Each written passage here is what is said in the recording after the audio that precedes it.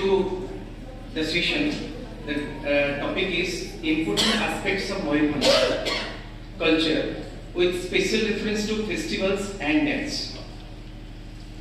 So in introduction, I may tell that Mayurbhanj is a rich culture, very ancient culture that we heard a lot from our dignitaries and basically very famous for the festivals, songs and dance. And this is because of the tribals. That tribals near about 60% tribal they are settling here. And they are the ancient inhabitants of Mayurbhanj.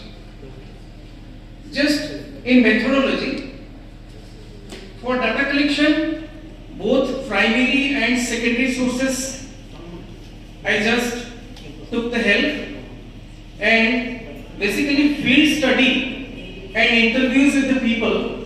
That is very important. My personal visit and all is I belong to Baripada.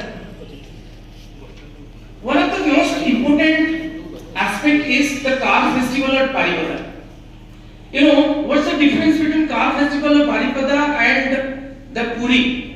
This is the second highest, the Rath, or the second popular in Odisha.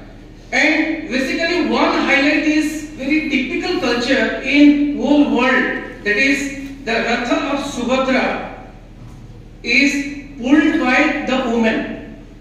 And from every house there is a member and isn't that the woman empowerment is shown here. Culture of our district, the Mayurbhanj, that is woman empowerment and uh, madam also, president madam also highlighted about the woman empowerment here why this ratio, this male-female ratio that you see highlighted and Basasar also highlighted about this. So this is the thing that I want to highlight and there is a history also due to the lack of time I am not highlighting. And Ma Ambika temple. Ma Ambika temple is presiding deity of Baripada or Mayurbhanj we can say. And this is also this is a living deity. We can say living deity. And everybody everybody this is a part of culture. This is a part of culture. And we can we can highlight the Chhau dance. You know Chhau dance this popular this is the popular culture and Chhau dance okay Seraikela Chhau or Purulia Chhau or Mayurbhanj Chhau but Mayurbhanj Chhau without mask so we can say that Chhau dance the popular dance culture in Mayurbhanj and we can go to Jhumar that Jhumar dance we have experimented here in the stage and Jhumar song also very very popular.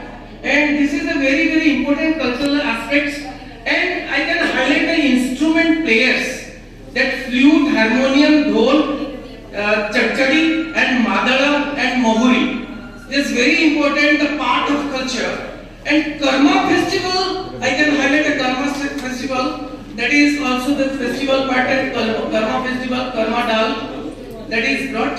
And this is a very very important festival.